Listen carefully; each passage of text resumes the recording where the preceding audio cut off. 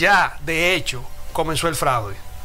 Y esto es una primicia que lo doy en el programa. Ya de hecho comenzó el fraude, lo acabamos de comprobar esta tarde. Hay una, eh, hay una acción real de parte de la Junta de Elecciones, auspiciado por los eh, candidatos como Robert Jackson, Al Taylor, María Luna y también de un dominicano. Un dominicano. oficial electo. Que, ¿Quién? Adriano España. ¿Cómo así? Bueno, hay una, auto, hay una autorización para cambio. espera, vamos a hacer un par aquí.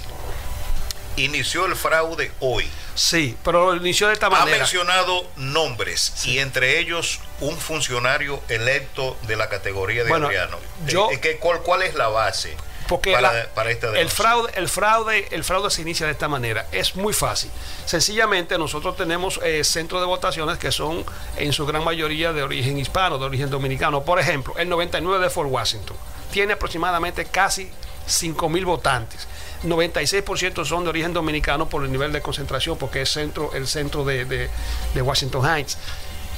La mayoría de los votantes en ese distrito son, en ese, en ese centro de votación, son envejecientes. ¿Qué pasa? Nosotros tenemos en la mano un, eh, una, eh, que se llama el sticker, el, que le mandan, el, el, carnet de votación, que una persona que vive en el 620 de, de, la 162 va a votar en el 99 de Fort Washington como de costumbre, por años.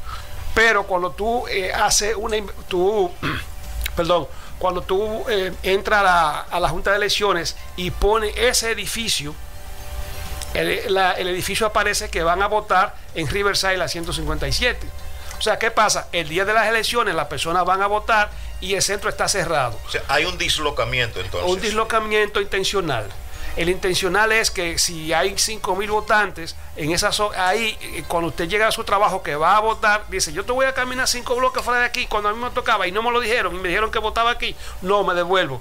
O sea, en este, en este caso lo que buscan es que los dominicanos no puedan votar para con los votos blancos y afroamericanos imponer a los candidatos afroamericanos que están compitiendo contra nosotros. Eso prácticamente es un fraude técnico por estar establecido y, y, y ya lo comenzaron a aplicar a partir de, a partir de ayer.